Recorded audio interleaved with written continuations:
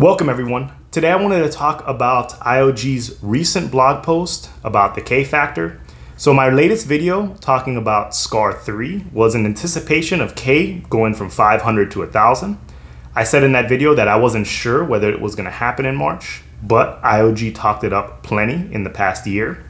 And I was just providing ample opportunity for SCAR delegators to move from one maybe oversaturated pool in a K equals 1000 market over to not a saturated pool when K would equal 1000. So that K factor would decrease the saturation levels from 64 million ADA to 32 million ADA.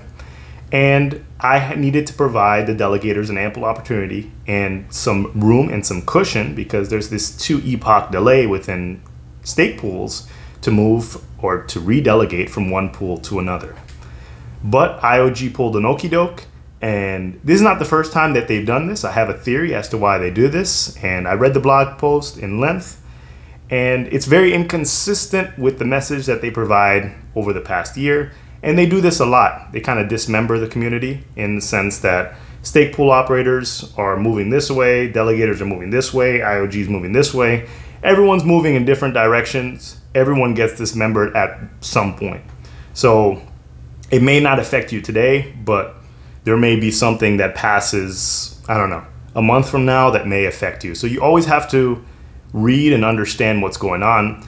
And you have to stay extremely flexible. And this is the reason why SCAR 3 is going to remain open. I'm going to continue trying to see if people are going to redelegate from SCAR or SCAR 2 over to SCAR 3.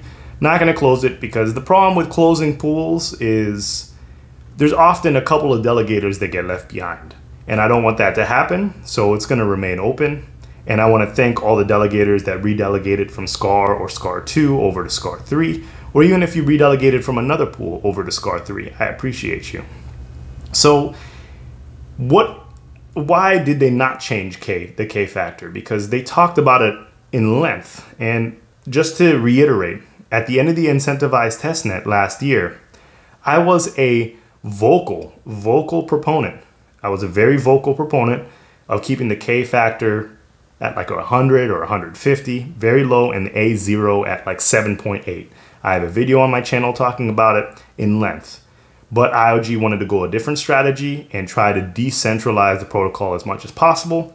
So they tried to do a step-by-step -step ladder increase. They wanted to change it from K equals 150 to K equals 500 to now K equals 1000, allowing more stake pools to to flourish.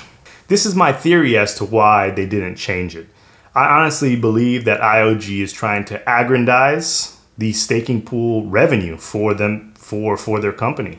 They are a large company and they have a lot of employees, they have a lot of expenses, whatever the case may be, and I don't knock them for that at all. If they're generating enough staking revenue, then go for it do whatever strategy that suits you, but don't communicate to stake pool operators that you're going to be making these changes and tell them in March that you're going to be increasing the K factor and then all of a sudden switch. But don't you're not telling people in December or January that you're going to make that switch. You're literally telling them in the month that it's happening. I mean, we're like mid-March right now. It's supposed to happen at the end of March. It might have been happening might have happened right now. I mean, I'm not 100% sure. So you have to give people a little bit more preparation in order to mitigate or to sidestep and maneuver and create alternate so, alternate roadways in order to run their business or to delegate. Because it affects delegators and operators because some delegators may have moved pools in anticipation and they may not be receiving rewards as of now until that pool grows and it's really unfortunate for everyone so yes, IOG is trying to aggrandize stake pool revenue for their, their pools. So if K equals a thousand, all of a sudden they're gonna have to create double the amount of pools in order to generate that staking revenue. And uh, yeah, I mean, they may have to hire someone else to manage all those stake pools, or it just may be too time consuming or too energy consuming, or just it might cost too much for them to maybe hire an additional person or just have that same person running overtime and running double the amount of pools. In the article, they say that they're they've changed their stake pool delegation strategy. This isn't a I don't even know if this is an appeal, but this is like an appeal to charity fallacy. I don't know even know if that's considered an actual appeal, but businesses often do this. They're saying, "Oh, yeah, we're doing we're giving this amount away or we're doing this amount for the community. So take whatever we're doing in stride." So that's a little bit unnerving. And yeah, so I don't know. I mean, until my theory is proven otherwise, it is what it is. I mean, even in the article, it mentions Sean's CIP proposal, and it talked about that influencing their decision. But if you've been watching the Cardano effect, Sean proposed the CIP proposal like probably almost a calendar year ago. There was no talk about it then. So it's kind of like this is being used as leverage or this is being used to justify the actions that are moving forward. It's kind of upsetting, kind of a waste of, I don't know, everyone's time. And I hope that in the future, if they do move K, they actually stick to their deadlines, they stick to their plan because they are literally dismembering, dismembering people because everyone is moving in different directions. And I don't understand it. So, yeah, um, they talk about the word decentralization a lot as well. And while this protocol is extremely decentralized, I mean, I think that there are a lot of stake pool operators running a lot of pools. You know, they mentioned the D0, the, the, the D factor. And this is basically, it's the amount of blocks that are, that are produced by community pools.